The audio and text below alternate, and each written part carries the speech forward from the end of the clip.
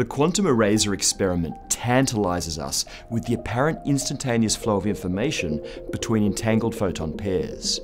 In fact, the delayed choice quantum eraser seems to show that information can travel backwards in time. For today's challenge question, I'm going to propose a way to use it to create a time traveling communication device and use it to cheat on the lottery. I want your honest opinion. First, though, you really should go back and watch that Quantum Eraser episode, unless your memory is incredible. Good? Let me review the important bits anyway. We start with a standard double slit apparatus. Photons are fired one at a time through the two slits. On the opposite side, each photon is split into an entangled pair of photons. One of these is sent off to a screen where its location is recorded, while the other is used to identify which slit the original photon passed through. The setup looks like this. In the interest of accuracy, let me add a little detail that I skipped in the previous video. When the researchers conducted this experiment, they didn't bother with detector B. There were really only two sets of possible outcomes. One, a photon finds its way to detector A. In that case, we know the original photon must have passed through slit A. Or two, either detector C or D fire, in which case we have no idea which slit was traversed. And the result is that photons whose entangled twins land at A produce no interference pattern. They just land in a single pile as though they had travelled as particles through the entire experiment. But photons landing at C or D have twins that do produce an interference pattern at the screen. One important extra piece of information that interference pattern is slightly different depending on whether C or D fire. The pattern for C has peaks that line up with the valleys of the interference pattern from D, but you see the clear patterns when you separate those C and D photons. Okay, so the pattern that forms at the screen depends on whether we gain knowledge of the path of the original photon. But crazily, all of this detecting or erasing of path information happens after each photon lands at the screen. After those photons land according to an interference distribution or a single pile distribution.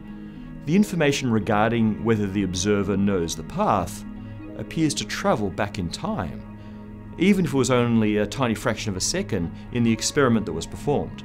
Okay, so with a couple of slight modifications, I think we can turn this into a communication device that can not only send information instantaneously between two points, but can also send information back in time. So my evil genius plan. I'm going to build a version of this experiment that will let me send tomorrow's winning lottery numbers back to myself.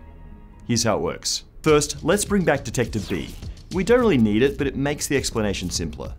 As it was executed, photons can travel to the which way section, so detectors A and B, or to the eraser section, so C and D.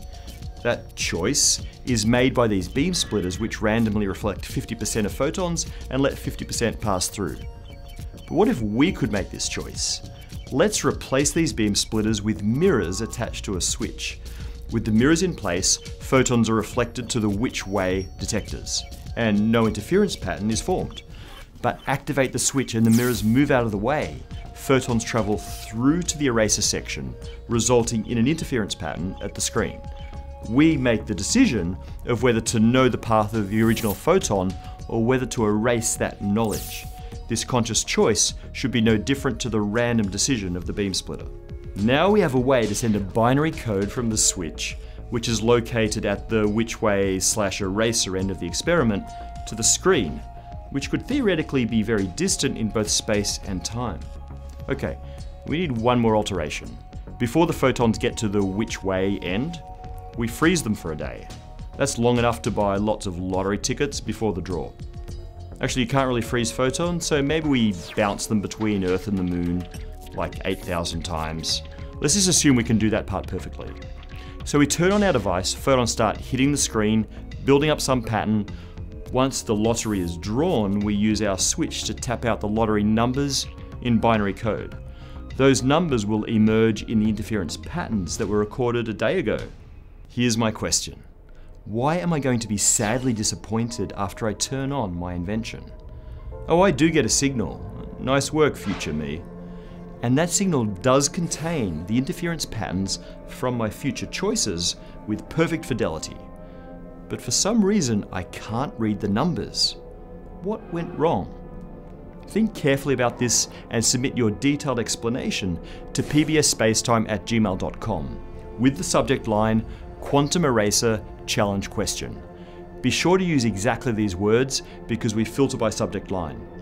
We'll choose five correct answers to receive Spacetime t shirts. Of course, if you figure out a way to make this invention work, then you should certainly submit your explanation.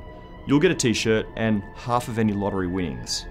See you next week for a fresh new episode of Spacetime.